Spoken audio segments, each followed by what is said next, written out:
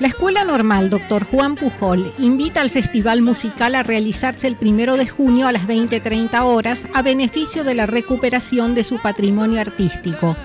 Actuarán Lorena Larrea, Carolina Rojas y Andrea Sosa. El valor de la tarjeta es de 50 pesos.